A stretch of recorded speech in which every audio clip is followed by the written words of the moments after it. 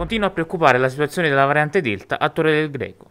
Nelle ultime ore, infatti, sono stati aggiornati i dati che rendono la città corallina come il maggior focolaio locale della variante indiana.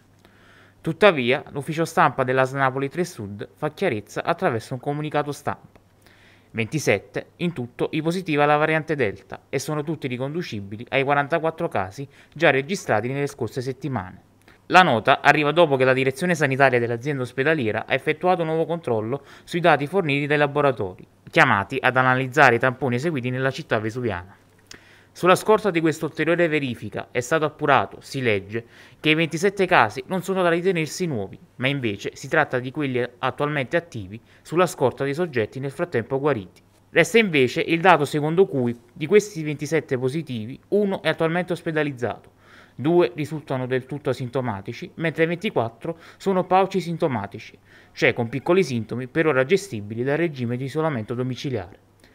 In totale, a Torre del Greco i cittadini positivi sono invece 83, stando ai dati serali forniti dal centro operativo comunale, con 15 soggetti ad ora ospedalizzati.